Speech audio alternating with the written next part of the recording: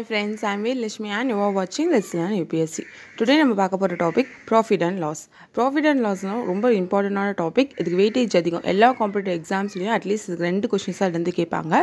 So இதில் நம்ம அதிகமாக கான்சென்ட்ரேட் பண்ணணும் to gain a make so இந்த சம்ஸ் இந்த மாதிரி சம்ஸ்லாம் சால்வ் பண்ணால் நிறைய ஃபார்முலாஸ் தெரியணும் அப்படிலாம் அப்படிலாம் எதுவுமே இல்லை. ரெண்டே ரெண்டு ஃபார்முலா பேசிக் ஃபார்முலா தெரிஞ்சால் போதும்.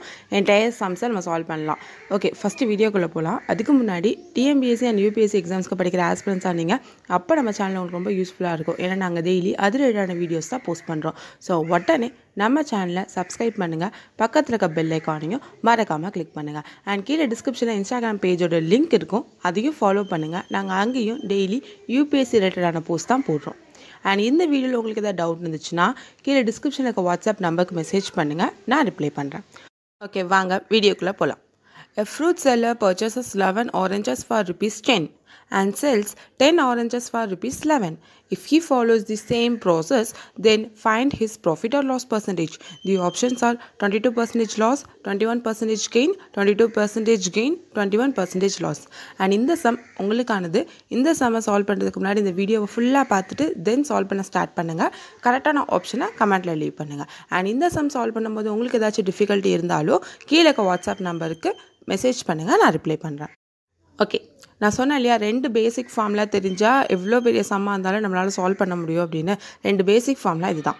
ப்ராஃபிட்டோ லாஸோ எது கண்டுபிடிக்கிறதா இருந்தாலும் selling price minus cost price S P minus C P பண்ணுங்கள் வர வேல்யூ பாசிட்டிவாக இருந்துச்சுன்னா அது ப்ராஃபிட் நெகட்டிவாக இருந்துச்சுன்னா லாஸ் இது ரெண்டுக்குமே ஒரே ஃபார்மில் தான். ஓகேவா தென் அதோட பர்சன்டேஜ் கண்டுபிடிக்கணும்னு வைங்க. இப்போ ப்ராஃபிட் வந்துருச்சு அதோட பர்சன்டேஜ் என்ன அப்படின்னு கண்டுபிடிக்கனாலோ இல்லை லாஸ் கால்குலேட் பண்ணோம் அதுக்கான பர்சன்டேஜ் கால்குலேட் பண்ணாலும் ஒரே ஃபார்மில் தான். அதான் எஸ்பி மைனஸ் சிபி பண்ணாலே ப்ராஃபிட்டாக லாஸ்ன்னு தெரிஞ்சிருமா? மைனஸ் வந்தால் லாஸ் பாஸ் ப்ளஸ் வந்தால் profit so SP minus CP the whole divide by CP into hundred ப்ராஃபிட்டும் சரி லாஸும் சரி நல்லா ஞாபகம் வச்சுக்கோங்க. செல்லிங் ப்ரைஸை வச்சு கம்பேர் பண்ணி நம்ம கால்குலேட் பண்ண மாட்டோம். காஸ்ட் ப்ரைஸ் வச்சு தான் நம்ம கால்குலேட் பண்ணுவோம் ஓகேவா ஸோ ரெண்டுக்குமே டிவைட் பை சிபி தான். ஸோ லாஸ் பர்சன்டேஜ் கண்டுபிடிக்கணும்னா loss divide by CP into hundred ஒரு ப்ராஃபிட் பர்சன்டேஜ் கண்டுபிடிக்கணும்னா profit by CP into hundred அதை தான் நான் எஸ்பி மைனஸ் சிபி எழுதியிருக்கேன். ப்ராஃபிட்டையும் லாஸையோ so divide by CP into hundred அது இன்னும் கொஞ்சம் சிம்பிளிஃபை பண்ணி SP by CP the whole minus one into hundred ஓகேவா ஸோ இந்த ஃபார்முலாவில் எது உங்களுக்கு ஈஸியாக இருக்கோ அதை நீங்கள் யூஸ் பண்ணிக்கலாம். ஸோ இந்த ரெண்டு ஃபார்முலா மட்டும் தெரிஞ்சால் போதும். எல்லா சம்ஸையும் நம்ம சால்வ் பண்ணலாம். ஸோ ஓகே ஃபர்ஸ்ட் சம் பார்க்கலாம். A man buys a radio for rupees 490 and sells for rupees 465.50.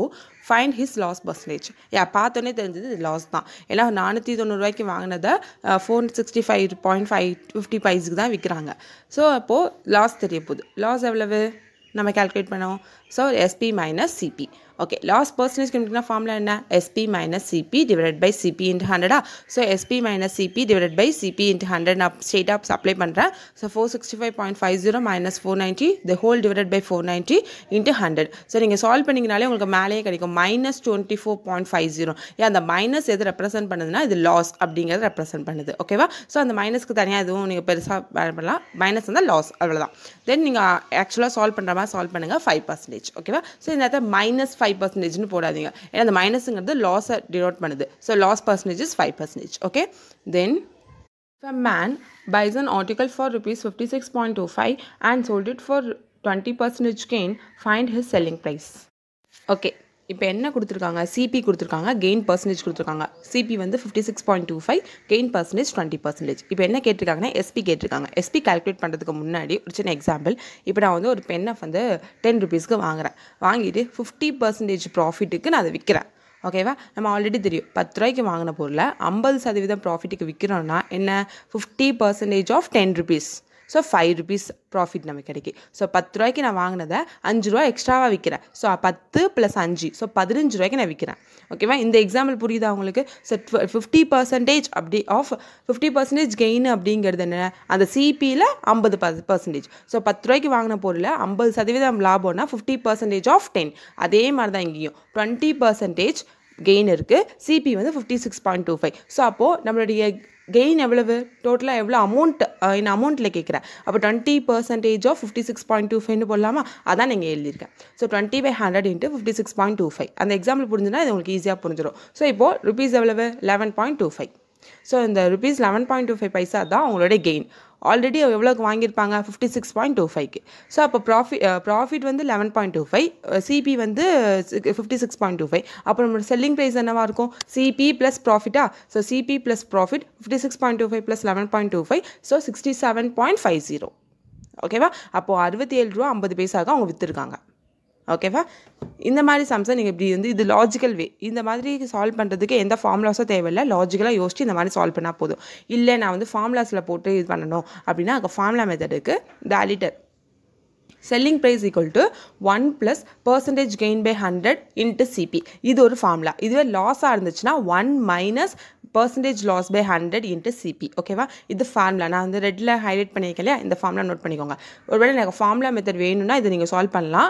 இல்லை நான் லாஜிக்கல் வேயே பண்ணுறேன்னா அதையும் பண்ணிக்கலாம். ஓகேவா உங்களோட சாய்ஸ் தான். ஸோ இந்த ஃபார்முலா மெத்தடில் இந்த ஃபார்முலா எப்படி வந்துச்சுன்னா நம்ம பர்சன்டேஜ் நான் சொல்லியிருப்பேன் இல்லையா?